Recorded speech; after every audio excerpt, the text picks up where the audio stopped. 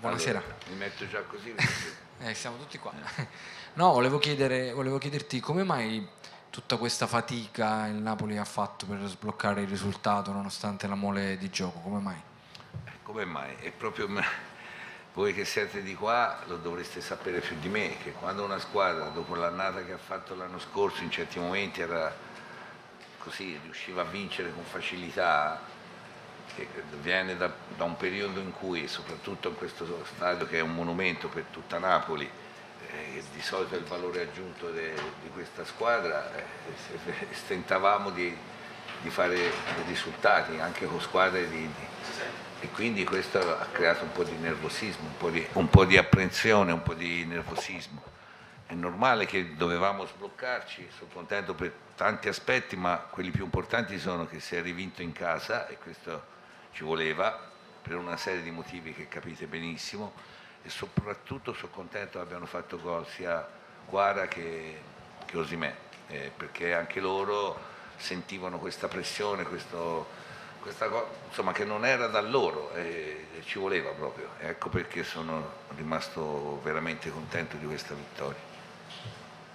Mister, Buonasera. E poi scusa, eh, volevo aggiungere quando una squadra fa quasi il primo tempo l'80% di possesso palla, che crea 6, 5, non lo so quante palle gol nitide, alla fine un allenatore può solo che elogiarla. Poi voi sapete che per gli attaccanti i momenti sono anche così, c'è un momento che tiri in porta fai gol, un momento che sei davanti alla porta non ti entra mai. E questo era perché, quello che si è detto prima, si era creato anche un nervosismo per, per risultati non buoni soprattutto in casa.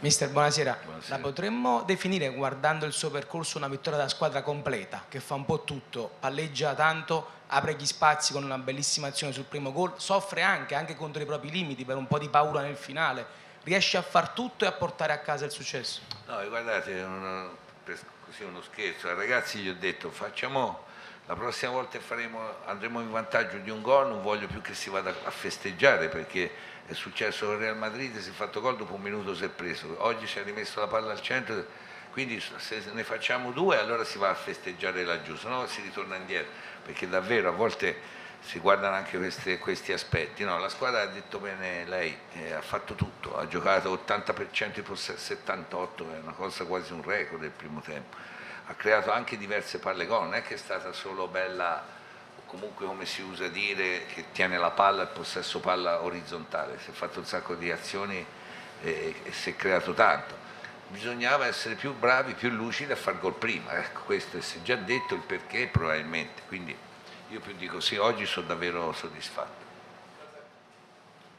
Buonasera, Uh, l'ho sentita da zona, ha detto tante cose interessanti su Mario Rui, su Simen, su Quaraschelia, ma credo che abbia ripetuto 12-13 volte la parola serenità.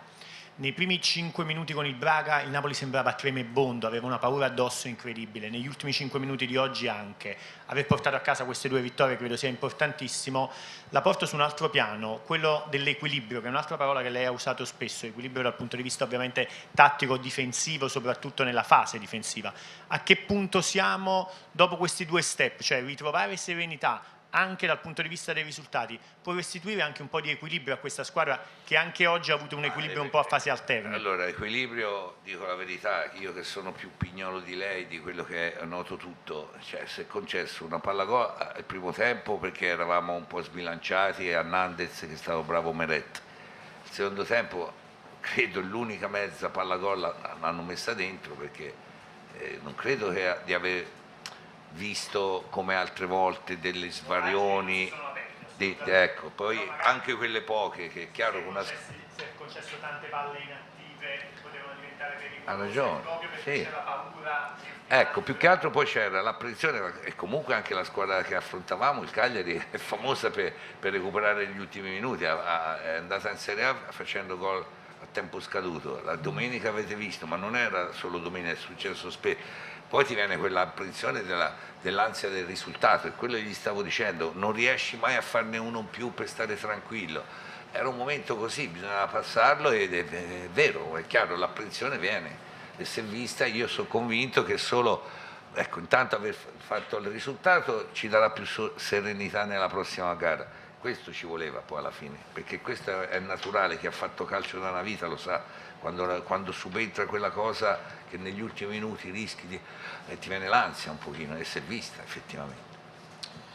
Buonasera, possiamo dire dimentichiamolo il Napoli di Spalletti, adesso per vincere c'è il Napoli di Mazzari, Mazzari sa come vincere e come andare avanti? Ma questo è me, siete voi, fate, valutate voi gli allenatori, io, io sono venuto qui per dare una mano al Presidente, ai tifosi, a tutta la gente che mi vuole bene perché credo di essere un allenatore che sa quello che fa, quindi cioè, ho, cercato, ho già visto qualcosa che posso Mm, diciamo, migliorare o fare di diverso da prima, ma per agevolare questo gruppo che dopo un'annata pazzesca era prevedibile che ci fosse un qualcosa di, di, di pericoloso, probabilmente anche se fosse rimasto Spalletti c'era, il rischio di, di, un anno un pochino più complicato, questo era abbastanza prevedibile che chi conosce il calcio da dentro. Mister, buonasera. buonasera. Tornando al discorso dell'equilibrio, la scelta di Caciusta in partenza nasce proprio da questa necessità, cioè piuttosto che Gaetano magari invece visto l'assenza di Zelischi per dare anche allora. un po' più di solidità al centrocampo ed evitare magari quelle famose ripartenze di cui abbiamo parlato Questo qualche volta. Questo è il primo aspetto che già lo dice lei, Caiusta ha un modo di giocare più da centrocampista puro eh, Gaetano è più quasi un trequartista e c'era il rischio di essere a volte, dato che a sinistra si soffriva, si è sofferto sempre tanto, anche quando c'era Zilischi col Braga, avete visto, entravano sempre lì, perché c'era questa disquisizione tattica che abbiamo cercato di correggere e Caiuste mi sembrava più adatto. E comunque la scelta è anche fatta, stata fatta perché sia Caiuste, soprattutto Gaetano era tanto che non giocava, se avessi fatto partire Gaetano dall'inizio era sicuro che l'avrei dovuto cambiare. Invece per le qualità che appunto a Gaetano ho visto ha fatto gol a Lecce, fece gol con l'Inter, è uno che mi poteva più servire nella seconda parte, ho preferito fare la staffetta in questo modo. Era quasi prevedibile che non, non ce la facessero tutte e due a fare benissimo i 90 minuti. Ciao mister, buonasera. Gaetano Pragliola, Teleclub Italia. Una domanda su Quaraschelia. Sembra un po' smarrirsi quando magari non gli viene la super eh, giocata. Oggi è ritornato al gol. Secondo lei dovrebbe avere più pazienza, cercare una giocata un po' più semplice in alcuni momenti della partita e quanto è importante aver ritrovato questa coppia del gol Quaraschelia-Osimene? Eh, l'ho detto prima, eh, devo ripetermi. È, è importante che loro siano sereni, che siano e a volte quando un ragazzo come lui è diventato un, un campione agli occhi di tutto il mondo e prima era un buon giocatore però che viene a Napoli a consacrarsi, tu cambia tutto. Lui ora ha gli occhi addosso, questa, sente questa pressione, a volte vorrebbe strafare, se c'è tre avversari vorrebbe superare tutti. In quel caso poi magari spende anche troppe energie e quindi poi non diventa lucido quando si trova davanti alla porta e quindi noi abbiamo lavorato anche su questo e vale lo stesso un po' per Osimè, quindi ecco perché insisto a dire al di là che sono contento della vittoria ma sono anche contentissimo perché hanno rifatto gol loro due, ci voleva per, per, proprio per la loro tranquillità futura.